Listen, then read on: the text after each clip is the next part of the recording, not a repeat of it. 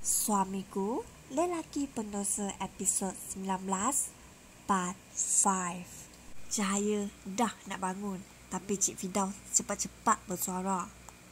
Cahaya Pak Cik Afnan datang dengan niat baik. Perkara yang dah lepas Biarlah berlalu. Tak salah jika kita semua saling memaafkan dan berbaik-baik. Cahaya pandang dari sudut positif nak lebih nikmat jika kita dapat berdamai dan terima seadanya.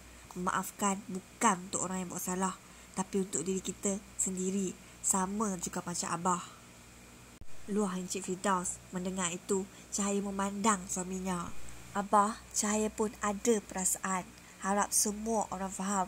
Cahaya belum tolak ansur dalam semua hal.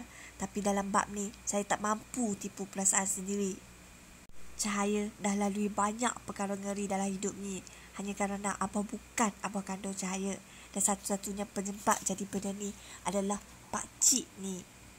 Jadi, Abah nak Cahaya buat apa tak ada Pak Cik ni? Terima dia. Macam mana dengan hati Cahaya